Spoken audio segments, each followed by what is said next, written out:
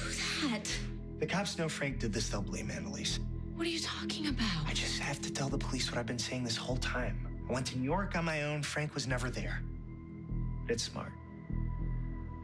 Protects Frank too. You think I want to protect Frank? Don't you? No. You knew where he was and you didn't tell me. Who am I here with right now, Wes? You, not Frank. I'm just saying I get it. If you still worry about him, that's fine. Look at me.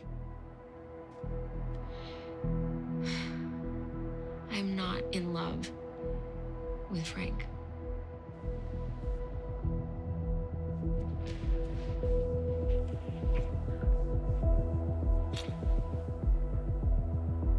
Meggy.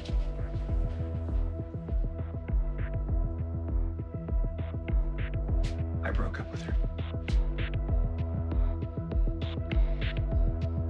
This will just make everything more complicated. I know.